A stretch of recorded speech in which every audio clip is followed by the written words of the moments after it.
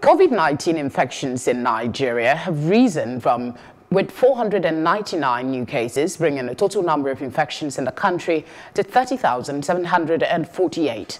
The Nigeria Center for Disease Control NCDC confirms this in a tweet on Thursday. The new infections were identified in 22 states and the Federal Capital Territory, Abuja.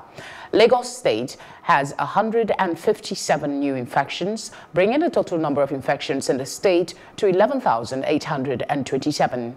Other states with new infections include Edo with 59, Ondo with 56. Oyo has 31, Akwa Ibom 22, Borno has 21, Plateau 19, Kaduna and Katsina 18 each. Bayelsa and the FCT share 17 apiece and Delta has 14. Kano also has 11 new cases, Rivers 10, Enugu 8, Ogun has 6, Kwara 4, Imo 3, Nasarawa and Osun State have two each, while Abia, Ekiti, Niger and Yobe have one case each.